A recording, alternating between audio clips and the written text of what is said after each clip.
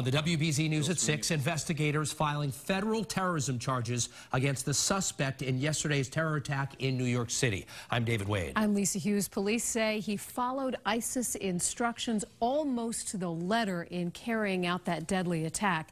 And the FBI, we know tonight, is searching for a second person in connection with the terrorist investigation. This is Mukhammadzoir Kadirov. Investigators are asking for anyone with information about him to come forward. Two charges were just filed against the 29-year-old main suspect in this case. Authorities say that Sayfullo Saipov came to the U.S. in 2010 from Uzbekistan and lived in Florida, but he also has ties to Ohio and to New Jersey. Now, the complaint that was filed says he killed eight people speeding down a bike path in a rental truck in lower Manhattan near the World Trade Center Memorial. And WBZ's Liam Martin is live near that scene tonight with the very latest. Liam? Lisa and David, it was right down this street, in fact, Chambers Street, where he carried out that attack.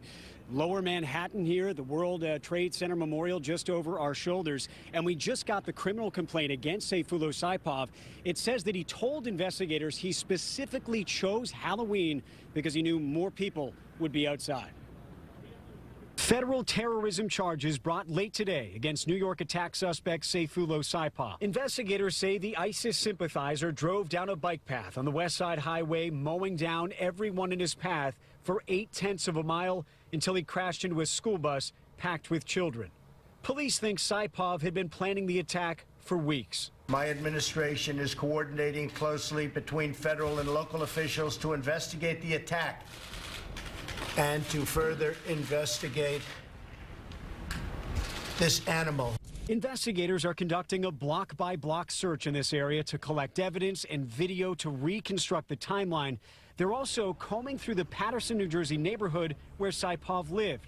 A neighbor says the rental truck used in the attack was seen around the neighborhood in recent days. The same truck, same model.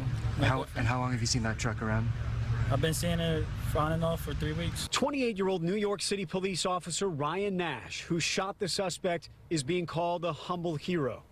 Although I feel that we were just doing our job, like thousands of officers do every day, I understand the importance of yesterday's events and the role we played. Danielle Nicholson took this video of the attack. She had been on the bike path just 20 minutes before and then heard gunshots. I just gotten back upstairs, sitting at my computer. I work from home, and I heard like six or seven gunshots fired. And I live, I sit up there all the time, and I hear stuff all the time. And it was definitely like I knew it was gunshots. I knew it was something off. Now, we knew yesterday that when Saipov got out of the truck here on Chambers Street, he had a pellet gun and a paintball gun in his hands. What we learned today in that criminal complaint that we just received moments ago, authorities also found three knives, a stun gun, and two cell phones that Saipov had with him at the time. David and Lisa?